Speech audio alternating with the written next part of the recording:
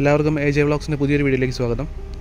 അപ്പോൾ ഞാൻ ഇന്ന് നിങ്ങളുടെ മുമ്പിൽ പരിചയപ്പെടുത്താൻ പോകുന്നത് ഇലക്ട്രോ വീൽസിന്റെ വി മാക്സ് എന്ന് പറഞ്ഞ മോഡൽ സ്കൂട്ടറാണ് അപ്പോൾ ഇത് നമ്മുടെ കിട്ടിയപ്പോൾ നമ്മൾ റിവ്യൂ ചെയ്യാമെന്ന് വെച്ചു. ഇതിന് മുന്നേ നമ്മൾ ഇലക്ട്രോ വീൽസിന്റെ തന്നെ വിൻഡ് എന്ന് പറഞ്ഞ വണ്ടി റിവ്യൂ ചെയ്തതാണ്. അപ്പോൾ അതിനെ കൂടി സമയമായിട്ടുള്ള രീതിയിൽ തന്നെയുള്ള വണ്ടിയാണ് വി മാക്സ് അപ്പോൾ അതിന്റെ ഒരു റിവ്യൂ കൂടെ ചെയ്യാമെന്ന് വെച്ചു. അപ്പോൾ നമുക്ക് അധികം വൈകിക്കാതെ വീഡിയോയിലേക്ക് കിടക്കാം.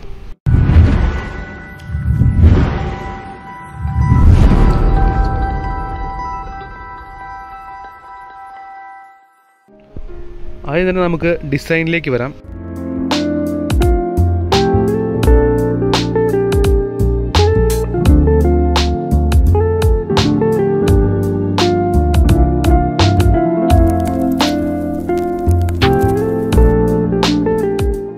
ഡിസൈനിൽ വന്നേക്കുന്നത് ആദ്യം ഫ്രണ്ടിൽ നിന്ന് തന്നെ തുടങ്ങാം. മുകളിൽ രണ്ട് മിറേഴ്സ് വന്നിട്ടുണ്ട് താഴെ ഇവിടെ ഒരു ഹാലജൻ ഇൻഡിക്കേറ്റേഴ്സാണ് ഈ സൈഡിലും ഈ സൈഡിലും വന്നിട്ടുണ്ട് ഇൻഡിക്കേറ്റേഴ്സ് വന്നിട്ടുണ്ട്. ഇവിടെ ഇലക്ട്രോവീൽസിന്റെ സ്റ്റിക്കർ വന്നിട്ടുണ്ട്. താഴേക്ക് വരുമ്പോൾ ഹെഡ്ലൈറ്റ് ഉണ്ട്. ഹെഡ്ലൈറ്റ് വന്നേക്കുന്നത് എൽ ഇ ഡി ഹെഡ്ലൈറ്റ് ആണ്. പിന്നെ താഴത്തേക്ക് വരുമ്പോൾ ഇവിടെ സസ്പെൻഷൻ വന്നിട്ടുണ്ട്. സസ്പെൻഷൻ വന്നേക്കുന്നത് ടെലിസ്കോപ്പിക് സസ്പെൻഷനാണ് വന്നേക്കുന്നത്. പിന്നെ താഴെ ട്യൂബ്ലെസ് ടയേഴ്സാണ് അതിന്റെ ത്രീ ഹൺഡ്രഡ് എം എം ടയേഴ്സാണ് വന്നേക്കുന്നത്. പിന്നെ ബ്രേക്ക് വന്നിട്ടുണ്ട് ഫ്രണ്ടിൽ ഇതൊക്കെയാണ് ഫ്രണ്ടിലേക്ക് വന്നേക്കുന്നത്. പിന്നെ നമുക്ക് സൈഡിലേക്ക് നോക്കാം. സൈഡിൽ എന്തൊക്കെയാണ് വന്നേക്കുന്നതെന്ന്. ഈ ഡിസൈൻ നല്ല രസമുള്ള ഡിസൈനാണ് കേട്ടോ. എന്ന് വെച്ച് കഴിഞ്ഞാൽ ഈ റെഡ് ആൻഡ് ബ്ലാക്ക് ഡിസൈൻ അതൊരു നല്ലൊരു ഡിസൈൻ ആയിട്ടാണ് തോന്നുന്നത്. ഈ ഡിസൈൻ മാത്രമല്ല പല ഡിസൈനും നല്ലതായിട്ടാണ് തോന്നുന്നത്. ഈ ഒരു വണ്ടിയുടെ ഡിസൈൻ ബേസ് കേട്ടോ നല്ലൊരു ഡിസൈൻ ആയിട്ടാണ് തോന്നുന്നത്. ഇനി സൈഡിലേക്ക് വരുമ്പോൾ ഈ സൈഡിൽ വന്നേക്കുന്നത് ഒരു സ്റ്റാൻഡ് വന്നിട്ടുണ്ട്. സെന്റർ സ്റ്റാൻഡ് ഉണ്ട് വണ്ടിക്ക്. ഇവിടെ സെന്റർ സ്റ്റാൻഡ് ഉണ്ട്. പിന്നെ ഒരു ഗാർഡ് വന്നിട്ടുണ്ട്. അത് മറ്റേ ചെളി തെറിക്കാതിരിക്കാൻ വേണ്ടിയിട്ടുള്ള ഒരു ഗാർഡാണ് ഈ സൈഡിൽ വന്നേക്കുന്നത്. പിന്നെ താഴെ വന്നേക്കുന്നത് ഒരു സ്പ്രിങ് സസ്പെൻഷനാണ് ബാക്കിൽ വന്നേക്കുന്നത്. ഫ്രണ്ടിൽ ടെലിസ്കോപ്പിക് ആയിരുന്നു ബാക്കിൽ സ്പ്രിങ് സസ്പെൻഷനാണ് വന്നേക്കുന്നത്.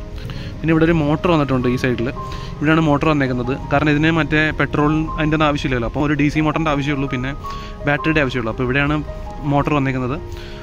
പിന്നെ ടയേഴ്സ് ബാക്കിലും ട്യൂബ്ലെസ് ടയേഴ്സാണ് ബാക്കിലും ബ്രേക്ക് വന്നിട്ടുണ്ട്. ബ്രേക്ക് വന്നേക്കുന്നത് ഡ്രം ബ്രേക്സ് ആണ് വന്നേക്കുന്നത്. അതാണ് ഈ സൈഡിലെ വ്യൂ. പിന്നെ ഇവിടെ ഒരു റിഫ്ലക്ടർ കൊടുത്തിട്ടുണ്ട്. പിന്നെ ബാക്കിലേക്ക് വരുമ്പോൾ നമ്മുടെ ഇവിടെ വന്നേക്കുന്നത് ഗ്രാബ് റെയിൽസാണ് ഗ്രാബ് റൈസിൽ പിടിച്ച് കഴിഞ്ഞാൽ നമുക്ക് ഇരിക്കാനുള്ള രീതിയിൽ വേണ്ടി അവിടെ ഗ്രാബ് റൈസ് പ്രൊവൈഡ് ചെയ്തിട്ടുണ്ട്. താഴത്തേക്ക് വരുമ്പോൾ ഇവിടെ L E D tail lamp ഉണ്ട്. ലെഫ്റ്റിലും റൈറ്റിലും നമ്മുടെ ഹാലജൻ തന്നെ ഇൻഡിക്കേറ്റേഴ്സ് വരുന്നുണ്ട്. താഴെ ബോസ് ഇലക്ട്രോ വീൽസ് എന്ന് പറഞ്ഞ കമ്പനിയാണ് അപ്പോൾ അവരുടെ നിന്നാണ് നമ്മൾ വണ്ടി എടുത്തത്. അപ്പോൾ അവരുടെ ഒരു ലോഗോയും അതിന്റെ അവരുടെ നമ്പറും കൊടുത്തിട്ടുണ്ട്. ഇതാണ് അവരുടെ നമ്പർ കൊടുത്തേക്കുന്നത്. താഴെ മഡ് ഫ്ലാപ്പ് കൊടുത്തിട്ടുണ്ട്. പിന്നെ അതുകൂടാതെ ഇവിടെയും ഒരു റിഫ്ലക്ടർ പ്രൊവൈഡ് ചെയ്തിട്ടുണ്ട് ഇവർ ഇതൊക്കെയാണ് ബാക്കിലുള്ള വ്യൂ ബാക്കിൽ നോക്കുമ്പോൾ കൊള്ളാം. നമ്മുടെ ഒരു ഡിയോയുടെ ഒക്കെ ഒരു ഫീലാണ് ഈ വണ്ടിക്ക് മെയിൻലി വിൻഡിനും ഇതുപോലെ തന്നെ ഒരു ലുക്കായിരുന്നു ഈ വി മാക്സും ഇതേ രീതിയിൽ തന്നെയാണ് വി മാക്സും പ്രൊവൈഡ് ചെയ്തേക്കുന്നത് ഈ സൈഡിലേക്ക് വരുമ്പോൾ ഇവിടെ ഒരു സ്റ്റിക്കർ അവിടെ കൊടുത്തിട്ടുണ്ട്. വി മാക്സിന്റെ ഒരു സ്റ്റിക്കർ കൊടുത്തിട്ടുണ്ട്. പിന്നെ താഴത്തേക്ക് വരുമ്പോൾ ഇതും ഒരു ഗാർഡാണ് ഗാർഡ് എന്ന് പറഞ്ഞാൽ അത് ചെളിയിറക്കാതിരിക്കാനും വേണ്ടി പിന്നെ ആ സൈലൻസർ ഇല്ലാത്ത വണ്ടി ആയതുകൊണ്ട് തന്നെ സൈലൻസറിന്റെ ആ ഒരു ലുക്ക് കിട്ടാനും അതിനൊക്കെ വേണ്ടിയാണ് ഇവിടെ ഒരു ഗാർഡ് പ്രൊവൈഡ് ചെയ്തേക്കുന്നത്. പിന്നെ നമ്മുടെ അപ്പർ സൈഡിലുണ്ടായിരുന്ന സസ്പെൻഷൻ ഇവിടെയും കൊടുത്തിട്ടുണ്ട്. ഇതൊക്കെയാണ് ഈ സൈഡിലുള്ള വ്യൂ വരുന്നത് ബേസിക്കായിട്ട് ലുക്കെല്ലാം പറഞ്ഞ സ്ഥിതിക്ക് നമുക്ക് ഇനി ബാക്കിയുള്ള ഡീറ്റെയിൽസിലേക്ക് വരാം. ഇവിടെ സീറ്റ് പ്രൊവൈഡ് ചെയ്തിട്ടുണ്ട്. സീറ്റ് എന്ന് പറയുന്നത് നമ്മുടെ ആവശ്യത്തിന് കുഷൻ ഫീലിംഗ് ഉള്ള സീറ്റാണ് ഇത് ഇത് നോക്കി കഴിഞ്ഞാൽ മനസ്സിലാവും. ആവശ്യത്തിന് കുഷൻ ഫീലിംഗ് ഒക്കെ പ്രൊവൈഡ് ചെയ്യുന്ന സീറ്റാണ് നമ്മൾ ആ മറ്റേ ഇലക്ട്രോയിൽസിന്റെ പിന്നിൽ വന്ന് പറഞ്ഞിട്ടുണ്ടായിരുന്നു. സീറ്റിന് പ്രശ്നമൊന്നുമില്ല. പക്ഷേ നമ്മൾ ഇരിക്കുന്ന ആ ഒരു പൊസിഷൻ അതൊരു മാറ്ററാണ് എനിക്കത് വെച്ചപ്പോൾ അന്ന് കുറച്ച് ലെഗ് പെയിൻ ഉണ്ടായിരുന്നു. അത് ലോങ് ഡിസ്റ്റൻസ് പോകുമ്പോൾ. ശരിക്കും ഇത് ലോങ് ഡിസ്റ്റൻസിന് വേണ്ടിയുള്ള വണ്ടിയല്ലല്ലോ. അപ്പോൾ നമുക്കതൊരു ബാരിയറായിട്ട് കാണാതെ നോക്കിക്കഴിഞ്ഞാൽ നല്ലൊരു മോഡലാണ് കാരണം അതിന്റെ സീറ്റൊക്കെ ആവശ്യത്തിന് നല്ല കുഷൻ ഫീലിംഗ് ഒക്കെ പ്രൊവൈഡ് ചെയ്യുന്നുണ്ട്. പിന്നെ നമുക്ക് വന്നേക്കുന്നത് ഫ്രണ്ടിലൊരു സ്പേസ് ഉണ്ട്. നമ്മുടെ ഫോണും അല്ലെങ്കിൽ എന്തെങ്കിലും ജസ്റ്റ് വല്ല കുപ്പിയോ അങ്ങനെ എന്തെങ്കിലുമൊക്കെ വെക്കണമെങ്കിൽ അതിനുള്ള സ്റ്റോറേജ് സ്പേസ് ഇവിടെ പ്രൊവൈഡ് ചെയ്തിട്ടുണ്ട്. പിന്നെ ഇതാണ് കീ ഇടുന്ന ഏരിയ പിന്നെ ഇവിടെ സ്വിച്ചസ് അതെല്ലാം. പിന്നെ ഇൻസ്ട്രുമെന്റ് ക്ലസ്റ്റർ പിന്നെ ഇവിടെ സ്വിച്ചസ് വന്നേക്കുന്നു. ഇതാണ് മാറ്റ് എന്ന് പറയുന്നത്. മാറ്റ് പൊക്കി കഴിഞ്ഞാൽ ഇതിന്റെ താഴെ കൂടിയാണ് നമ്മുടെ വയസ്സൊക്കെ പോകുന്നത്. ഈ ഒരു ഗ്യാപ്പിന്റെ അടി കൂടിയാണ് വയസ്സൊക്കെ പോയേക്കുന്നതൊക്കെ. അപ്പോൾ നമുക്ക് ഈ ഈ രണ്ട് സ്ക്രൂ ഊരി കഴിഞ്ഞാൽ നമുക്ക് അതിന്റെ മറ്റേ താഴെ കൂടെ പോകുന്ന വയസ്സൊക്കെ കാണാൻ പറ്റും. അപ്പോൾ അതും കൂടെ വലിയ യൂസ് ഒന്നുമില്ല. പക്ഷേ എന്തെങ്കിലുമൊക്കെ പ്രോബ്ലംസ് ഉണ്ടെങ്കിൽ അവർക്ക് ആദ്യം നോക്കാൻ പറ്റുന്നത് ഇതിന്റെ ഉള്ളിലാണ്. ഇതാണ് ഇതിന്റെ അടിയിൽ വന്നേക്കുന്നത്. ഈ മാറ്റിന്റെ അടിയിൽ വന്നേക്കുന്ന ഡീറ്റെയിൽസ് എന്ന് പറയുന്നത്. പിന്നെ ഈ സീറ്റിന്റെ അടിയിലുള്ള വിശേഷങ്ങളിലേക്ക് നമുക്ക് അടുത്തെടുക്കാം താക്കോൽ അതിന് തിരിക്കാം. ഇത്രയും വലിയൊരു ബൂട്ട് സ്പേസ് ആണ് അത് പ്രൊവൈഡ് ചെയ്തേക്കുന്നത്. ഇതെന്ന് പറഞ്ഞാൽ ആവശ്യത്തിന് വലിയൊരു ബൂട്ട് സ്പേസ് ആണ്. കാരണം എന്ത് ഇത് ഇത്ര ഇറക്കമുണ്ട് ഇവിടുന്ന്. ഇത്ര ഹൈറ്റ് ബൂട്ട് സ്പേസ് പ്രൊവൈഡ് ചെയ്യുന്നുണ്ട്. പിന്നെ ഇവിടെ ഒരു വന്നേക്കുന്ന ഒരു എം സി ബി ആണ്. അത് നമ്മൾ എല്ലാ വീട്ടിലും പറയാറുള്ള സാധനമാണ്. അപ്പോൾ സാധാ വണ്ടികൾക്കൊക്കെ നമ്മുടെ വിൻഡൊക്കെ റിവ്യൂ ചെയ്തപ്പോൾ നമുക്ക് ഇവിടെ ആയിരുന്നു അതിന്റെ എം സി ബി വന്നിരുന്നത്. ഇതിന്റെ ഉള്ളിലായിരുന്നു വന്നിരുന്നത്. ഇപ്പോൾ ടെസ്റ്റ് വണ്ടി ആയതുകൊണ്ടാണ് തോന്നുന്നു ഈ സൈഡിൽ വെച്ചേക്കുന്നത്. അപ്പോൾ ഇതിന്റെ യൂസ് എന്താണെന്ന് നമ്മൾ പല വീഡിയോയിലും പറഞ്ഞിട്ടുണ്ട്. നമുക്കിത് ഓഫാക്കി ഇട്ട് കഴിഞ്ഞാൽ നമുക്ക് ഒട്ടും ചാർജ് ഇറങ്ങി പോകത്തില്ല. അതായത് നമ്മളിപ്പോൾ എവിടെയെങ്കിലും ലോങ്ങിന് എവിടെയെങ്കിലും മാറിയിരിക്കാൻ എന്തെങ്കിലും പ്ലാൻ ഉണ്ടെങ്കിൽ ഇത് ജസ്റ്റ് ഓഫാക്കി ഇട്ട് കഴിഞ്ഞാൽ ഇതിനകത്ത് ഒരു ചാർജ് പോലും താഴേക്ക് ഇറങ്ങത്തില്ല. അപ്പോൾ ഇതിന് വേണ്ടിയാണ് ഇത് പ്രൊവൈഡ് ചെയ്തേക്കുന്നത്. ഇത് ഓണാക്കിയിട്ട് കഴിഞ്ഞാൽ വണ്ടി ഓടും. ഇത് ഓഫ് ആക്കിയിട്ട് കഴിഞ്ഞാൽ പിന്നെ വണ്ടി ഓടത്തില്ല. അടുത്ത നമുക്ക് ഇതിന്റെ ബാറ്ററി പരിചയപ്പെടാം. ബാറ്ററി എന്ന് പറയുന്നത് അറുപത് വോൾട്ടിന്റെ ബാറ്ററിയാണ് അറുപത് വോൾട്ട് ഇരുപത്തിനാല് ആംബിയർ അവറിന്റെ ബാറ്ററിയാണ് രണ്ട് ബാറ്ററി അകത്ത് വരുന്നുണ്ട്. ഒന്ന് ലെഡ് ആസിഡ് ബാറ്ററി വരുന്നുണ്ട്. ഒന്ന് ലിഥിയം ഫോസ്ഫേറ്റ് ബാറ്ററി വരുന്നുണ്ട്. ലിഥിയം ഫോസ്ഫേറ്റ് ബാറ്ററി ആണെങ്കിൽ അതിന് വരുന്നത് അറുപത് കിലോമീറ്റർ മൈലേജ് ആണ്. അതേസമയം നമ്മുടെ ലെഡ് ആസിഡ് ബാറ്ററി ആണെങ്കിൽ എഴുപത് കിലോമീറ്റർ വരെ മൈലേജ് കിട്ടും വണ്ടിക്ക്. പിന്നെ ലെഡ് ആസിഡ് ബാറ്ററിക്ക് പക്ഷേ ടൈം കൂടുതലാണ്. ചാർജിങ് ടൈം ഭയങ്കര കൂടുതലാണ്. അതായത് എട്ട് മണിക്കൂർ ചാർജ് ചെയ്യണം ലെഡ് ആസിഡ് ബാറ്ററിക്ക് പക്ഷേ അതേസമയം ലിഥിയം ഫോസ്ഫേറ്റ് ബാറ്ററി ആണെങ്കിൽ നാല് മണിക്കൂർ ചാർജ് മതി. നാല് മണിക്കൂർ ചാർജിങ് ഉണ്ടെങ്കിൽ നമുക്ക് ഫുൾ ചാർജ് ആവും. ഫുൾ ചാർജ് നിന്ന് അറുപത് കിലോമീറ്റർ നമുക്ക് ഡ്രൈവ് ചെയ്യാൻ പറ്റും. പിന്നെ ലിഥിയം ഫോസ്ഫേറ്റിന്റെ എന്താ പ്രത്യേകത എന്ന് വെച്ചാൽ അതിന് മൂന്ന് വർഷം വാറണ്ടി ഉണ്ട്. നമ്മുടെ ബാറ്ററിക്ക്. പക്ഷേ അതേസമയം നമ്മുടെ ലെഡ് ആസിഡ് ബാറ്ററിക്ക് ആണെങ്കിൽ അതിനാകെ ഒരു വർഷം വാറണ്ടി ഉള്ളൂ ഇതിന് വരുന്നത്. കാരണം ഒരു വർഷം കഴിഞ്ഞാൽ പിന്നെ അതിന്റെ ലൈഫ് ഭയങ്കര കുറവാണ്.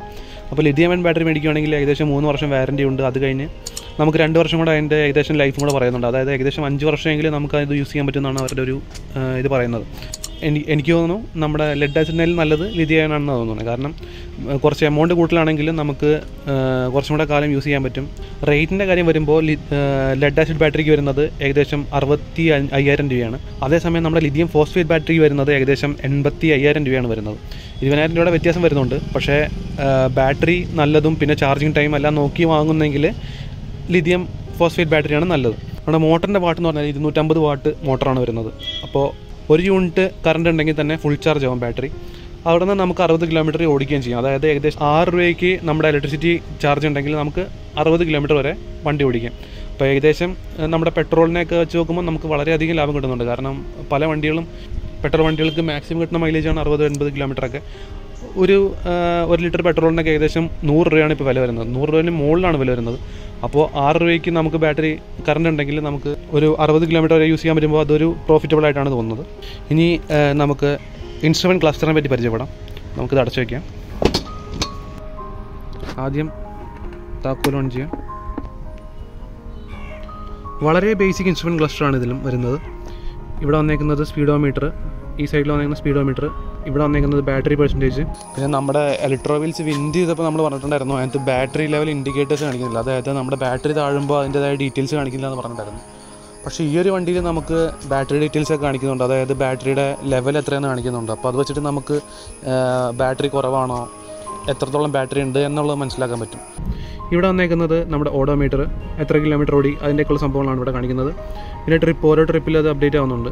പിന്നെ ഇവിടെ വന്നേക്കുന്നതെന്ന് പറഞ്ഞാൽ നമ്മുടെ മൂന്ന് സ്വിച്ചസ് ഉണ്ട്. അത് ഞാൻ എക്സ്പ്ലെയിൻ ചെയ്യുമ്പോൾ പറയാം. അതൊരു ഗിയർ പോലെ തന്നെയാണ്. അത് ഓരോന്നും മാറ്റുമ്പോൾ അതിനനുസരിച്ചിട്ട് നമ്മുടെ ഏത് ഗിയറിൽ കിടക്കുന്നത് അതിനേക്കുള്ളതായിട്ട് തന്നെ റെപ്രസെന്റ് ചെയ്യും. ഇത് നാലാണ് ഇതിനകത്ത് മെയിനായിട്ട് വരുന്ന നമ്മുടെ ഇൻസ്ട്രുമെന്റ് ക്ലാസ്സിൽ വരുന്ന ഡീറ്റെയിൽസ് എന്ന് പറഞ്ഞാൽ അപ്പോൾ നമുക്ക് ബാക്കി സ്വിച്ചസിലേക്ക് കിടക്കാം. അപ്പോൾ ഇടത് സൈഡിൽ വന്നേക്കുന്നത് നമ്മുടെ ഹൈ ബീം ലോ ബീം സ്വിച്ചാണ് വന്നേക്കുന്നത്. പിന്നെ ഇവിടെ ഇൻഡിക്കേറ്റേഴ്സ് വന്നേക്കുന്നു. ഇൻഡിക്കേറ്റേഴ്സ് രണ്ട് സൈഡിലേക്കും വന്നേക്കുന്നു. പിന്നെ ഈ സൈഡിൽ വന്നേക്കുന്ന ഹോണാണ് ഹോൺ വന്നേക്കുന്നു. അതുപോലെ തന്നെ ഇപ്പുറ സൈഡിലും ഹോണാണ് പക്ഷേ ഇവർ ടെസ്റ്റ് റൈഡ് വണ്ടി ആയതുകൊണ്ട് ഇവിടെ ഒട്ടിച്ചിരുന്ന സ്റ്റിക്കർ വരാന്നുള്ളൂ സെയിം ഹോൺ തന്നെയാണ് ഇവിടെ വരുന്നത്. ഇവിടെ ഹെഡ്ലൈറ്റാണ് വന്നേക്കുന്നത്. പിന്നെ ഇപ്പുറ വന്നേക്കുന്ന ഞാൻ ഉദ്ദേശിച്ച മറ്റേ മൂന്ന് ഗിയറിന്റെ സംഭവം പറഞ്ഞായിരുന്നല്ലോ. അത് മൂന്ന് സ്പീഡ് ലിമിറ്റ്സ് ആണ്. ആഹ് ഇത് ഇരുപത്തഞ്ച് കിലോമീറ്റർ സ്പീഡിൽ ഓടുന്ന ഒരു വണ്ടി ആയതുകൊണ്ട് തന്നെ ആ അതിന് ബേസ് ചെയ്തിട്ടുള്ള മൂന്ന് ആണ് ഇതിനകത്ത് പ്രൊവൈഡ് ചെയ്തേക്കുന്നത്. ഓരോ ഗിയറിലും ഓരോ സ്പീഡ് ലിമിറ്റാണ് പറഞ്ഞേക്കുന്നത്. പിന്നെ ഇവിടെ റിവേഴ്സിന്റെ സ്വിച്ച് പറഞ്ഞിട്ടുണ്ട്. ഈ റിവേഴ്സിന്റെ സ്വിച്ച് എന്നുള്ളത് ഇങ്ങനെയല്ല ശരിക്കും. അതും ടെസ്റ്റ് റൈഡ് വണ്ടി ആയതുകൊണ്ടാണ് ഇതിങ്ങനെ കൊടുത്തിരുന്നത്. നല്ല ഫ്രഷ് വണ്ടി കിട്ടുമ്പോൾ ഇവിടെ റിവേഴ്സ് എന്ന് പറഞ്ഞ സ്വിച്ച് വേറെയുണ്ട്. ആ സ്വിച്ചിലേക്ക് ഇട്ട് കഴിഞ്ഞാൽ നമുക്ക് ഒരു ടു കിലോമീറ്റർ സ്പീഡ് വരെ നമുക്ക് റിവേഴ്സിലേക്ക് പോകാൻ പറ്റും. അപ്പോൾ അതിന് വേണ്ടിയാണ് ഈ റിവേഴ്സ് എന്ന് പറഞ്ഞ സംഭവം. ഇതെന്ന് പറഞ്ഞാൽ ടെസ്റ്റ് ഡ്രൈവ് വണ്ടി ആയതുകൊണ്ടാണ് ഇത് ഇങ്ങനത്തെ ഒരു സ്വിച്ച് കൊടുത്തിരുന്നത്. അപ്പോൾ പുതിയ വണ്ടി മേടിക്കുന്നവർക്ക് അത് സ്വിച്ച് ആയിട്ടായിരിക്കും കിട്ടുക. അപ്പോൾ അത് നോക്കി വെച്ചേക്കാം. അപ്പോൾ ഇതാണ് ഇതിന്റെ ഒരു ജേറൽ ഐഡിയാസ് എന്ന് പറഞ്ഞാൽ പിന്നെ എന്റെ ഗ്രൗണ്ട് ക്ലിയറൻസ് എന്ന് പറഞ്ഞാൽ ഏകദേശം നൂറ്റെഴുപത് എം എം ഗ്രൗണ്ട് ക്ലിയറൻസ് ആണ് കൊടുത്തേക്കുന്നതിന് ഈ വണ്ടിയുടെ വെയിറ്റ് എന്ന് പറഞ്ഞാൽ ഏകദേശം എൺപത്താറ് കിലോയാണ് പിന്നെ ഈ വണ്ടിയുടെ പ്രത്യേകത എന്താണെന്ന് വെച്ച് കഴിഞ്ഞാൽ ഇതിന് രജിസ്ട്രേഷൻ വേണ്ടാത്ത വണ്ടിയാണ്. കാരണം ഇതിന് സ്പീഡ് ഏകദേശം മുപ്പത് താഴെയുള്ള വണ്ടിയാണ്. അപ്പോൾ ഇതിന് രജിസ്ട്രേഷൻ ഒന്നും വേണ്ട. അതുപോലെ തന്നെ ലൈസൻസ് വേണ്ട. പിന്നെ ഹെൽമെറ്റ് വേണ്ട. ഇതൊന്നും വേണ്ട. പക്ഷേ ഹെൽമെറ്റൊക്കെ വെച്ചിട്ട് യൂസ് ചെയ്യണമെന്ന് നല്ലത്. കാരണം മുപ്പത് റേഞ്ച് സ്പീഡിൽ പോകണ വണ്ടി ആയതുകൊണ്ട് ഹെൽമെറ്റ് വെച്ചിട്ട് പോകണമാണ് നമുക്ക് സേഫ് എന്ന് പറയുന്നത്. അപ്പോൾ ഞാൻ പഴയ വീഡിയോയിലൊക്കെ പറഞ്ഞിട്ടുണ്ട്. എല്ലാ വീഡിയോയിലും ഞാൻ പറയുന്ന കാര്യമാണ് ഹെൽമെറ്റ് വെച്ചിട്ട് വണ്ടി ഓടിക്കുക. അതാണ് നമ്മുടെ സേഫ്റ്റിക്ക് നല്ലത്. ഇതാണ് ചാർജർ കണക്ട് ചെയ്യുന്ന ഏരിയ ഇവിടെയാണ് നമ്മുടെ ചാർജർ കണക്ട് ചെയ്യുന്നത്. നമ്മുടെ ചാർജർ എന്ന് പറഞ്ഞാൽ നമ്മുടെ ത്രീ പിൻ ചാർജറാണ് അപ്പോൾ അത് നമുക്ക് എവിടെ വേണമെങ്കിലും കുത്തി ചാർജ് ചെയ്യാം. നമ്മുടെ വീട്ടിലും കുത്തി ചാർജ് ചെയ്യാം. എവിടെ വേണമെങ്കിലും നമുക്ക് പറ്റുന്ന സ്ഥലത്ത് എവിടെ വേണമെങ്കിലും കുത്തി ചാർജ് ചെയ്യാൻ പറ്റും. അങ്ങനത്തെ ഒരു ചാർജറാണ് ഇതിനകത്ത് പ്രൊവൈഡ് ചെയ്തേക്കുന്നത്. ലെഡ് ആസിഡ് ബാറ്ററിക്ക് ആണെങ്കിൽ ഏകദേശം എട്ട് മണിക്കൂർ വേണം ചാർജ് ചെയ്യാനായിട്ട്. അതേസമയം ലിഥിയം ഫോസ്ഫേറ്റ് ബാറ്ററി ആണെങ്കിൽ നാല് മണിക്കൂർ മതി ഫുൾ ചാർജ് ആവാൻ. അപ്പോൾ അതാണ് ചാർജിന്റെ വിശേഷങ്ങൾ പിന്നെ ഈ ഒരു വണ്ടിയുടെ പ്രത്യേകത എന്ന് വെച്ച് കഴിഞ്ഞാൽ ഇതിന് സെൻട്രൽ ലോക്ക് പ്രൊവൈഡ് ചെയ്യുന്നുണ്ട്. അതൊരു സ്വിച്ചാണ് അത് ഇപ്പം എന്റെ കയ്യിൽ ആ സ്വിച്ച് ഇല്ല. പക്ഷേ ആ സ്വിച്ചിന്റെ യൂസ് എന്താണെന്ന് വെച്ച് കഴിഞ്ഞാൽ വണ്ടി ഫ്രണ്ടും ബാക്കും ഫുള്ളി ലോക്കായിരിക്കും പിന്നെ വണ്ടി ആർക്കും എടുത്തുകൊണ്ട് പോകാൻ പറ്റില്ല. ആ ഒരു രീതിയിലേക്ക് തന്നെ സെൻട്രൽ ലോക്ക് ചെയ്തിടാം. പിന്നെ അലാറം അടിക്കും. അപ്പോൾ അങ്ങനെ ഒരു രീതിയിൽ ഇതിനെ സെറ്റ് ചെയ്യാനുള്ളതാണ് സെൻട്രൽ ലോക്ക് എന്ന് പറഞ്ഞ ഫീച്ചർ അതിനകത്ത് കൊടുക്കുന്നുണ്ട്. പിന്നെ എന്റെ ഹൈറ്റ് എന്ന് പറഞ്ഞാൽ ഏകദേശം അഞ്ച് പത്താണ് അപ്പം നിങ്ങൾ ഈ വണ്ടി വാങ്ങാൻ ഉദ്ദേശിക്കുന്നുണ്ടെങ്കിൽ എന്റെ ഹൈറ്റും കൂടെ നോക്കുക. എന്റെ ഹൈറ്റിനോട് ചേർന്ന ഒരാൾക്കാരൊക്കെ ആണെങ്കിൽ ഈ ഒരു ലെവലിൽ നമുക്ക് ഇരിക്കാൻ പറ്റും. അല്ലാത്തവർക്കാണെങ്കിലും ഇരിക്കുന്നതിന് പ്രശ്നമൊന്നുമില്ല. ജസ്റ്റ് ഒന്ന് നോക്കിയിട്ട് എടുക്കുക അപ്പോൾ ഞാൻ ഇരിക്കുമ്പോൾ കറക്റ്റ് മനസ്സിലാവുമല്ലോ. അപ്പോൾ അതിന് വേണ്ടിയാണ് നമ്മൾ ഈ രീതിയിൽ എടുത്തത്. അപ്പോൾ ഇതൊക്കെയാണ് ഈ വണ്ടിയുടെ ഡീറ്റെയിൽസ് എന്ന് പറഞ്ഞാൽ അപ്പോൾ ഓവറോൾ ഈ വണ്ടി നല്ലൊരു വണ്ടിയാണ്. ഇഷ്ടപ്പെടുകയാണെങ്കിൽ ആൾക്കാർക്ക് വാങ്ങാൻ പറ്റുന്ന വണ്ടിയാണ്. അപ്പോൾ ബാക്കി നമുക്ക് ഷോറൂമിലെ ഡീറ്റെയിൽസ് പരിചയപ്പെടാം. ഈ വണ്ടി നമുക്ക് തന്നത് ബോസ് മോട്ടോഴ്സ് എന്ന് പറഞ്ഞ കമ്പനിയാണ്. അപ്പോൾ ഇവരാണ് ഇലക്ട്രോ വീൽസ് എന്ന് പറഞ്ഞ കമ്പനിയുടെ വണ്ടികളൊക്കെ ഡീൽ ചെയ്യുന്നത്. അപ്പോൾ ഇവരുടെ ഷോറൂം ഒന്ന് ജസ്റ്റ് പരിചയപ്പെടാം. അപ്പോൾ ഇവിടെ എൽട്രോ വീൽസ് വിൻഡും പിന്നെ വി മാക്സ് ഒക്കെയാണ് ഇവർ മെയിൻലി ഇവിടെ ഡിസ്പ്ലേക്ക് വെച്ചേക്കുന്നതും ഇവർ കൂടുതലും സെയിൽ നടത്തുന്നത് ഇത് രണ്ട് മോഡലാണ് ഇനി അടുത്തൊരു വണ്ടി വരുന്നുണ്ടെന്ന് പറയുന്നുണ്ട്. അത് വെസ്പ മോഡലൊരു വണ്ടി വരുന്നുണ്ടെന്ന് പറയുന്നുണ്ട്. അതായത് ഒരു ക്ലാസിക് ഫിനിഷുള്ള വണ്ടി ഏകദേശം നമ്മുടെ സ്പീഡ് കുറച്ചും കൂടെ കൂടുതലുള്ള വണ്ടി ഇറക്കുന്നുണ്ടെന്ന് അവർ പറയുന്നുണ്ട്. അത് എന്ന് ഇറങ്ങുമെന്നുള്ള അറിയില്ല. അത് അവരോടൊന്ന് കോൺടാക്ട് ചെയ്യുക ഞാൻ എന്തായാലും നമ്പർ ഇവിടെ പ്രൊവൈഡ് ചെയ്യാം. പിന്നെ എനിക്ക് ഈ വണ്ടി തന്നത് പെരുമ്പാവൂരിലുള്ള ബോസ് മോട്ടോഴ്സ് എന്ന് പറയുന്ന കമ്പനിയാണ് അപ്പോൾ അവ അവരുടെ കോൺടാക്ട് ഡീറ്റെയിൽസ് ഒക്കെയാണ് ഞാൻ അവിടെ പ്രൊവൈഡ് ചെയ്യുന്നത്. അപ്പോൾ നിങ്ങൾക്ക് എന്തെങ്കിലും ഡൗട്ട്സ് എന്തെങ്കിലും ഉണ്ടെങ്കിൽ ഈ നമ്പറിൽ വിളിച്ച് ചോദിച്ചു കഴിഞ്ഞാൽ അവർ പറഞ്ഞുതരും. റേറ്റും അതൊക്കെ റിഗാർഡ് ചെയ്യുന്ന സംഭവങ്ങളൊക്കെ അവരുടെ അടുത്ത് ചോദിച്ചു കഴിഞ്ഞാൽ കറക്റ്റായിട്ട് ഡീറ്റെയിൽസ് കിട്ടും. അപ്പോൾ ഏത് വണ്ടി വേണം എന്ന് നിങ്ങൾക്ക് തീരുമാനിക്കുക എന്നിട്ട്. അപ്പോൾ ഇതൊക്കെയാണ് വീഡിയോ വീഡിയോ ഇഷ്ടപ്പെട്ട് കഴിഞ്ഞാൽ ലൈക്ക് ചെയ്യാനും ഷെയർ ചെയ്യാനും സബ്സ്ക്രൈബ് ചെയ്യാനും മറക്കരുത്. ഇതിലും നല്ലൊരു കണ്ടന്റായിട്ട് അടുത്ത വീഡിയോ കാണാം. അതുവരെ ബൈ ബൈ